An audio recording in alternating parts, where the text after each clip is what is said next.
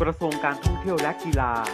และสำนักงานการท่องเที่ยวและกีฬาจังหวัดนครปฐมเสนอ กิจกรรมไหว้พระเก้าวัด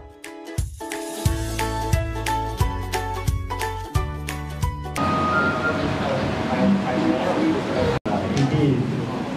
น้องๆสื่อมวลชนทุกแขนงนะครับเอ่อโดยสำนักงานการท่องเที่ยวและกีฬาจังหวัดนครปฐมนะครับ ก็ตามนโยบายของรัฐบาลนะครับกำหนดให้มีการส่งเสริมการท่องเที่ยวทั้งภายในและภายนอกประเทศซึ่งก็จะมีการจัดให้มีการพัฒนาการท่องเที่ยวแหล่งท่องเที่ยวรวมถึงการท่องเที่ยวเชิงอนุรักษ์เชิงวัฒนธรรม การพัฒนาและฟื้นฟูแหล่งท่องเที่ยวทางธรรมชาติประวัติศาสตร์และวัฒนธรรมนะครับที่มีอยู่แล้วแล้วก็ที่เพิ่มเติมขึ้นนะครับทีนี้จากการส่งเสริมการท่องเที่ยวให้มีศักยภาพเนี่ย ทำยังไงถึงเราจะต้องให้นักท่องเที่ยวมาเที่ยวก่อนให้ตัวสมมากขึ้น เราจึงได้จัดกิจกรรมหลาย ๆ กิจกรรมนะครับ แล้วสำนักงานการท่องเที่ยวและกีฬาจังหวัดนครปฐมนะครับในนามของจังหวัดนครปฐมก็กำหนดกิจกรรมนี้ขึ้นมา ก็ก่อนหน้านี้ก็จะเป็นกิจกรรมไหว้พระทางน้ำแล้วนะครับก็ได้รับการตอบรับเป็นอย่างดี วันนี้ก็เป็นการแถลงข่าวไหว้พระเก้าวัด ในพื้นที่จังหวัดนครปฐมถ้าโดยข้อเท็จจริงแล้วนะครับ วัดในนครปฐม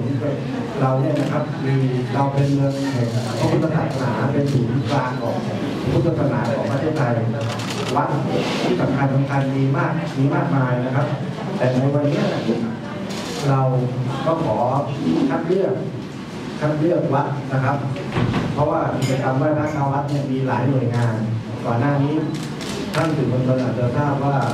มีกิจกรรมไหว้พระเข้าวัดของกรมการศาสนากระทรวงวัฒนธรรมที่จัดไปเมื่อ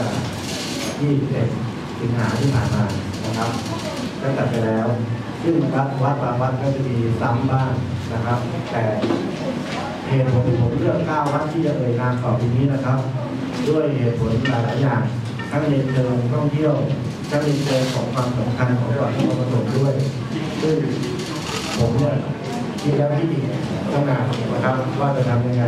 เจตนาผมเนี่ยเพื่อต้องการส่งเสริมการท่องเที่ยวดังนั้นวัดที่ชาวบ้านยังรู้เป็นที่รู้จักนะครับก็อยากจะโปรโมทแต่สิ่งที่โปรโมทนั่นหมายความว่าผมลงไปในพื้นที่วัดแล้วนะครับ ก็ต้องดูด้วยนะครับว่าวัดนั้นเหมาะสมจริงบางวัดนะครับ ใหญ่และโตจริงดังจริงในอดีตแต่ปัจจุบันนี้ยังไม่ค่อยสวยงามนะผมก็ต้องไม่คัดเลือกนะครับ ทั้งสามวัดสี่วัดอาทิตย์หน้าว่างประมาณต่อ ผมให้เวลาสองเดือนเริ่มนับตั้งแต่วันนี้นะครับ ทุกอย่างเนี่ยทางทางทีม organize เนี่ย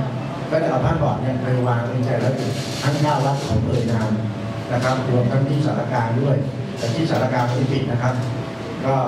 ที่เก้าวัดเนี่ยไปวางเริ่มเริ่มตั้งแต่วันนี้ได้เลยครับ ทุกทุกคนก็ไปปั๊มแล้วก็ไปได้มา นะครับ วันที่ 25 สิงหาไปครบกำหนด2เดือนวันที่ 25 ตุลาแต่เปิดรับรับเหรียญได้ตลอดเลยนะครับจนสุดท้ายเหรียญให้อีก 5 วันเหรียญให้อีก5วันเผื่อใครมีธุระอะไรเนี่ยรับเหรียญภายในวันที่ 31 ตุลาแต่มีเงื่อนไขนิดนึงจนกว่าเหรียญมันจะหมด ถ้าเหรียญก่อนก่อนก็คือจบนะเพราะผมจะไม่ผลิตเพิ่ม Oigan que